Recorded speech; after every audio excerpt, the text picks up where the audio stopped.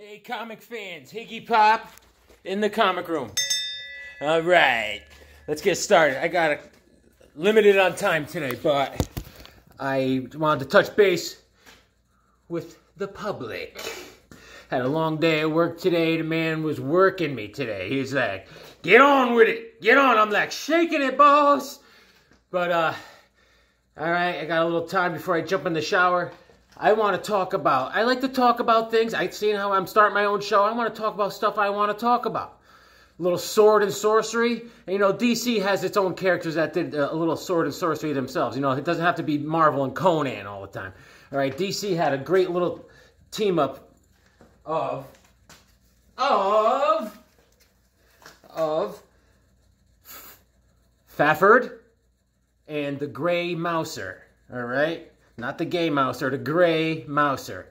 And uh, Fafhrd is a, a big, tall, red-headed Viking, and the Gray Mouser is a little smaller dude with a sword, and he's they're anyways they're both thieves, all right, and they're uh, warriors, and they get in a lot of problems. And uh, DC had a little series about them, and uh, let's look at this because I, I read these a long time ago.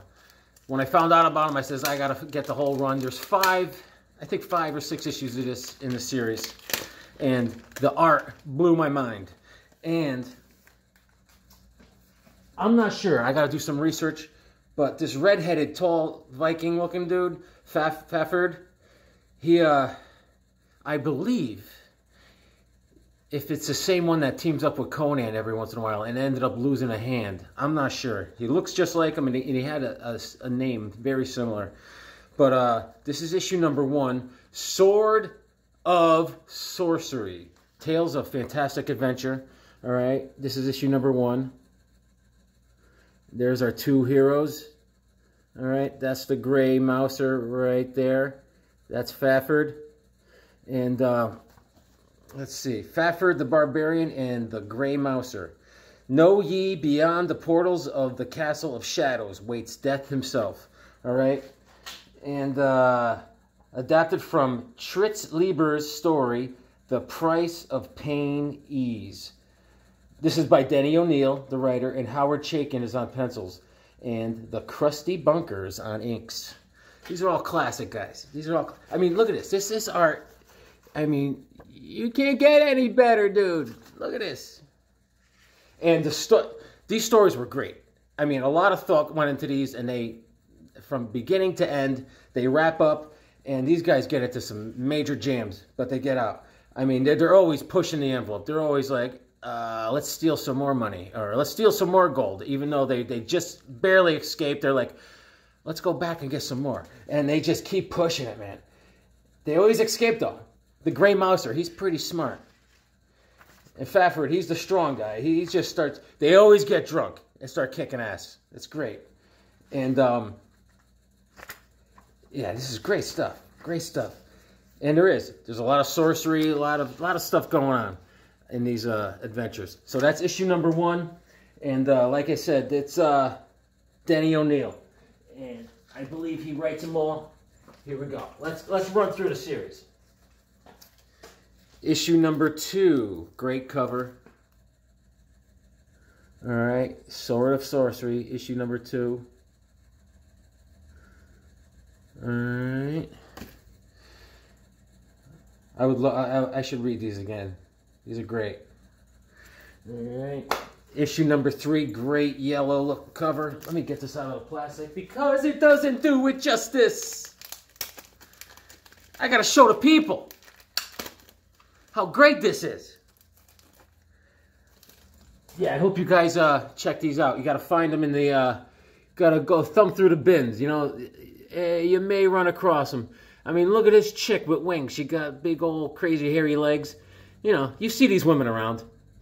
And uh, I, I suggest you turn around and walk the other way because you don't want her, like, uh, you, you know, all of a sudden she's in the shower. She grabs your razor and starts shaving her legs and you go to shave with it, and all of a sudden your nose hits the shower floor. You're like, oh, what happened? So this is great. This is great. This is issue number three Are there some battles not even the greatest heroes can win? Question mark. All right. Fafhrd the Barbarian and the Grey Mouser. Betrayal. Oh, yeah. See, now they're pirating. See, see, dude, they do it. Oh, man. I'm telling you, you got to read these. Got to.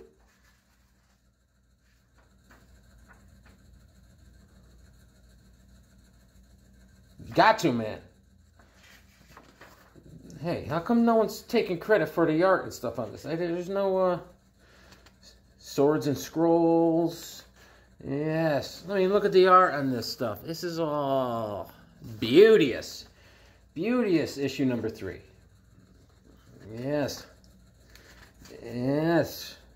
I mean, look, look at Fafner. He's just, when he hits you, you know about it. I mean, he'll hit you so hard you, you uh, you gotta unzip your fly to blow your nose. This is, I wish I had glasses on me. August of 70, 73. All right, now let's go to issue number four. Issue number four, a giant eyeball.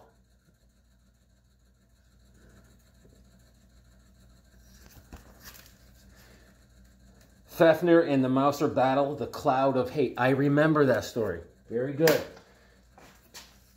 This is the final one of the run. Yes. Five. Issue number five. This is a good one. Another yellow cover. Oh, great cover, man. I remember this one. They were in this boat.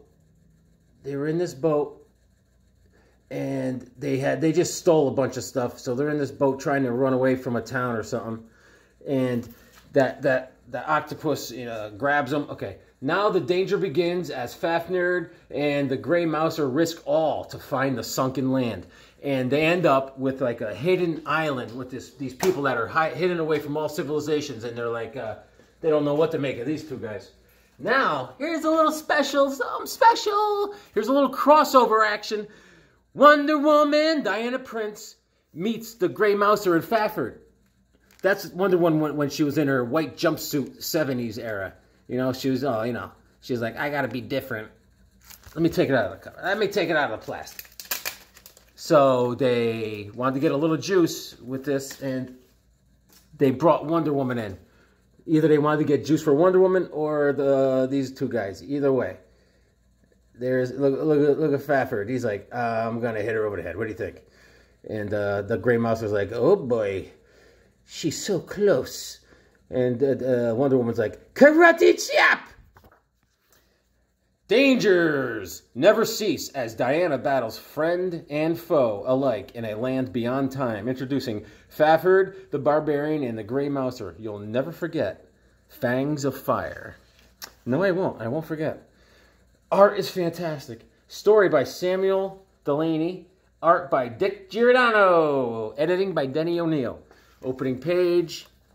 There's Wonder Woman. There's a Fafhrd finding her. He's like, jackpot. Uh-oh. Oh, she kicks him right in the lips. Wubba bush. She's like, uh, don't touch me there. Uh-oh. He's, he's got him in a, she's got him in a chicken wing. Yep, there's a lot of shenanigans going on. I don't remember reading this. I mean, it may have been a little even too ridiculous for me. I mean, but it looks good. It looks good. It looks good, man. The Gray Mouser. He's a shisty one. Oh, man. This is good stuff. Good stuff. All good stuff. All right? So these are the little gems you can find out there from the 73 era. Let me see when this one was. This one was in 72, all right? So this was probably before this uh, five-issue run came out. And for some really good reading, Epic Comics came out with uh, four little trades of uh, Fafhrd the Grey Mouser, all right? And this is, you know, Hellboy fame. Here we go. This is by uh, Mignola, Williamson, and Van Valkenburgh. But Mignola is this is you could you can tell by the art. Okay, this is book number one. All right, Can you see that? And do yourself a favor and find these. The stories are, they'll blow your mind. I, I couldn't get over how good these stories were. I was like, man. And I think they're taken from, uh, someone wrote these and they had, they adapted them into these uh, graphic novels. Ill Met in Lankhmar. Fritz Leiber's. Fafhrd and the Grey Mouser. You see, you get a lot of maps and this art is great, you know, Mignola style, heavy on the inks. And uh, these guys, they're a riot. And these, these books are funny too. The hijinks these dudes get up to. And uh, and they're and they're always in trouble. They got girlfriends and they're in big trouble all the time. Big trouble. They're like, uh, who, me? Nah. This girl ain't with me. I'm sorry. And book number two. All right. And just by looking at these covers, I remember these stories because they were so rememberable, you know? All right. These are all Fritz Leiber's, Fafner and, and the Grey Mouser. Here's book three. Oh, this is when they they get pitted against themselves. They fight each other. So good, so good. Oh yeah, dude. I know all about these books because the stories are so dang good. Check it out. Book four. This is the last one. It took me a while to chase down all four of these. I'd find them in all random parts of the world. And uh, and I finally found all four. And when I completed it, I was so happy. I was so happy. And uh, I think that's all I wanted to show. But, you know, these are different things that you will never see anywhere else but Higgy Pop Comics. You know, you can go anywhere to see a good old Batman comic. I mean, come on. Come on. You want to see a Batman? This Here's a Batman I got today. Here, hang tight. Hang tight. Here we go. Here we go. All right. There you go. Here, get your jollies. This is Detective Comics, issue number 301. Classic. All right.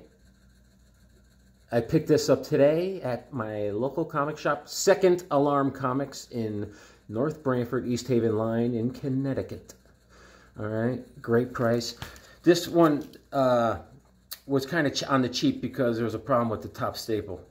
And uh, these guys. These guys in the beehive uh, costume. He's like, if you step out of the capsule, Batman, you'll not only menace everybody around you, but you'll doom yourself.